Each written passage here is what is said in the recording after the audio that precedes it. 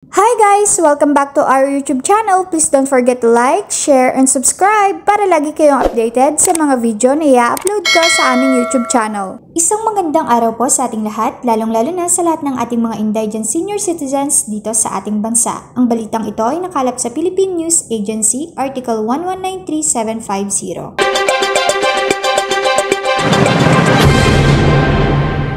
Ayon dito, may 4.1 milyon na mahihirap na senior citizens ang may karapatan na makatanggap ng 12,000 pesos bawat isa bilang social pension ngayong taon sa ilalim ng inaprobahang 5.2 trilyong pambansang budget. Pinaalalahanan ni Senador Sani Angara noong biyernes na pinag-utos ng Republic Act RA 11916 ang 100% pagtaas sa buwan ng pensyon ng indigent senior citizens mula sa 500 pesos hanggang 1,000 pesos.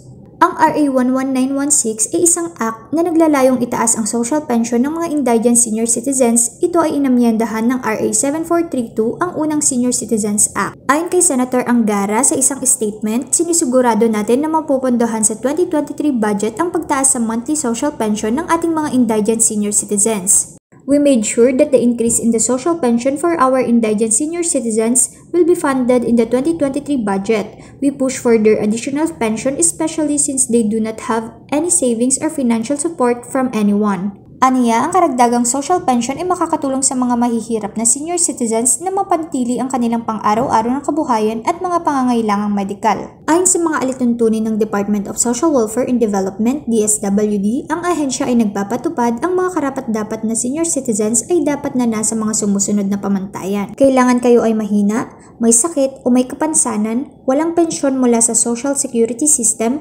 Government Service Insurance System o mula sa anumang pinagmumula ng pensyon sa gobyerno. At mga pribadong ahensya at walang anumang permanenteng pinagkukunan ng kita, compensation o tulong pinansyal mula sa mga kamag-anak upang masuportahan ang kanilang mga pangunahing pangangailangan. Dagdag pa ni Senator Angara, malapit sa 10% ng lahat ng mga Pilipinong may edad 65 pataas ay namumuhay ng mag-isa. Marami ang hindi gaanong pinalad na magkaroon ng ipon para makamit nila ang kanilang twilight years at marami pa ang walang kamag-anak na mag-aalaga sa kanila. Unang ipinakilala noong 2010 ang social pension para sa mga mahihirap na senior citizens.